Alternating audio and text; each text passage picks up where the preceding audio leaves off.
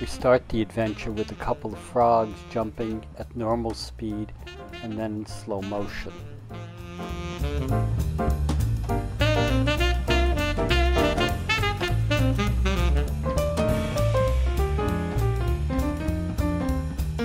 Not sure what the hawk is doing, but it's in the old nest, not the nest that was used this year. It almost looks like it's feeding, but who knows? I was, I was looking into some very shallow water at the rainwater pool.